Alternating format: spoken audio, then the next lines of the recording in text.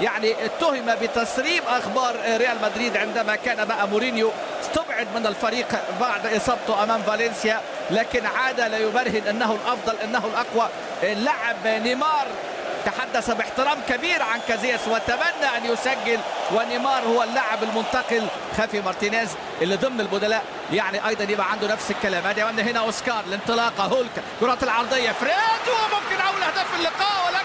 الكرة مخطوفه مخطوفه مخطوفه الدفاع الإسباني في هذه اللقطة يتلقى في شباكه واحد من أسرع الأهداف في المباراة النهائية بعد دقيقة أو 23 ثانية تقريبا. يخطف فريد الهدف الأول ليه في هذه المباراة ويسجل كما كان أول من سجل في ماركانا الجديد في مرمى المنتخب الإنجليزي في لقاء ودي للمنتخب البرازيلي. اذا البرازيل تشعل الملعب والهدف كما نتابع. أدي هولك وادي الكرة العرضية هنا من جانب اللاعب هولك. شوف هنا فريد والتقاء واربي لوا يبحث عن الكرة. ثم أمامنا هنا بقى يخطفها فريد من الوضع راقدا اللاعب فلومينيزي اللي بيسجل في هذه اللحظات الهدف الرابع ليه في هذه البطولة. يتساوى مع منتخب البرازيل وجايب أربع أهداف في هذه البطولة. وادي أمامنا هنا في العالم المنتخب البرازيلي. هنا أمامنا نيمار في اختبار أمام المنتخب الإسباني. وبخاصة مع يعني طبعا إعلان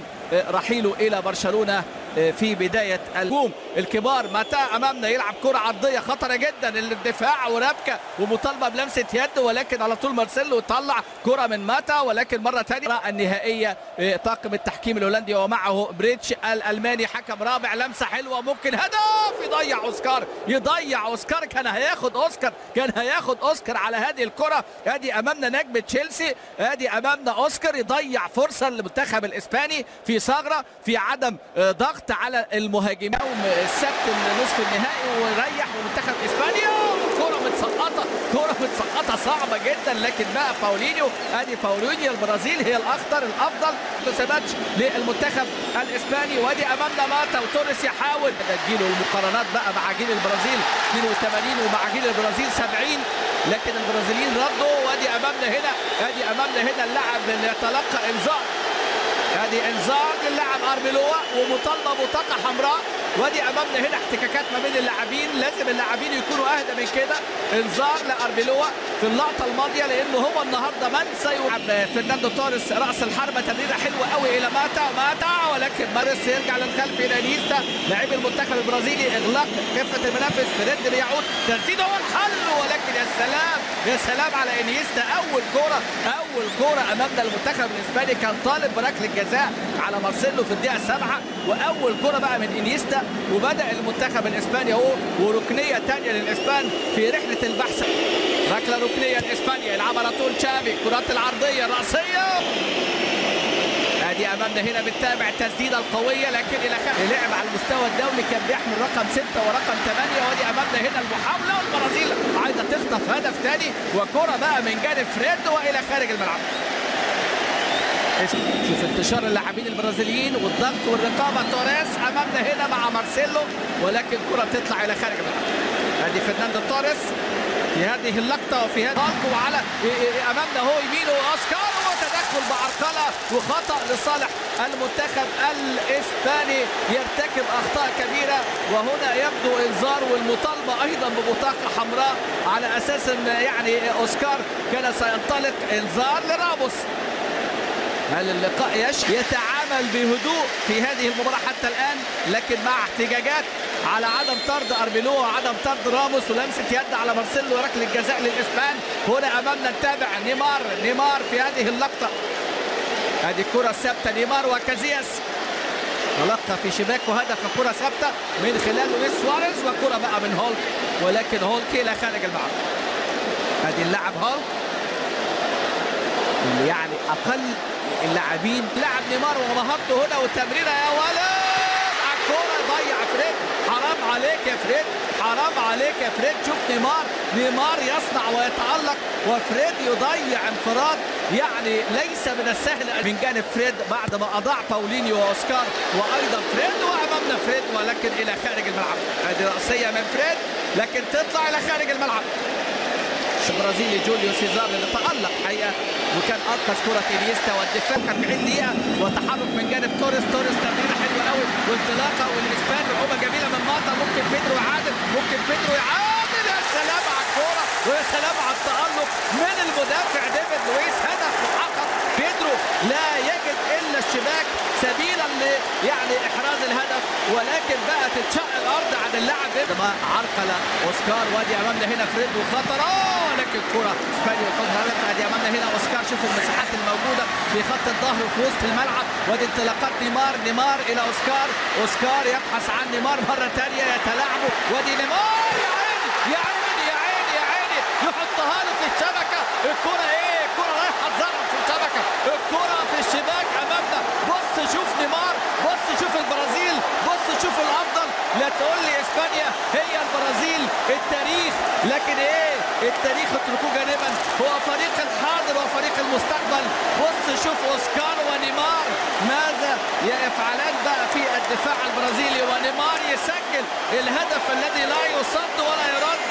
يضعها في مرمى كازياس أحترم كازياس.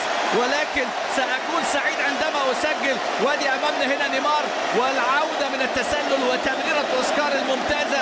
وشوف نيمار بقى يحطها له فين؟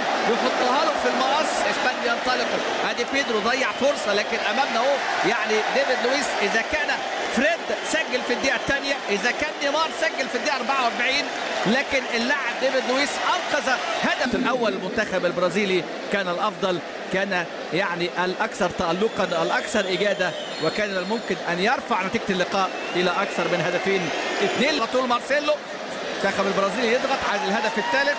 6-1 النتيجة الأسوأ في تاريخ إسبانيا كانت أمام البرازيل في 1950 وأدي فريد وهي وهي وهي هي الثالث هو الثالث هو الثالث ليلة سقوط البطل في هذه الأمسية ولكن عودة البطل الحقيقي أمامنا هنا يلعب البرازيل ويسجل فريد الهدف الخامس ليه عشان يتساوى مع توريس في هذه البطولة والثالث للبرازيل في هذه المباراة والثاني لفريد الهدف يأتي في الدقيقة كام؟ الدقيقة الثانية. اذا البرازيل تسجل مبكرا عشان تصعب من المهمة. بص شوف مارسيلو شوف البرازيل شوف التحرك وشوف اللمسة.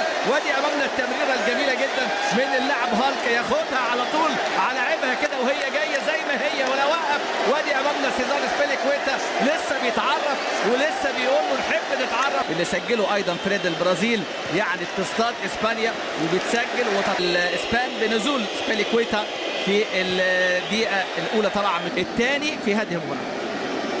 خيسوس نافاس البديل القادم سبيليكويتا مكان اربيلوا وينزل أيضا نافاس وركلة الجزاء لنافاس أمامنا هنا في هذه اللحظة وفي هذه اللقطة.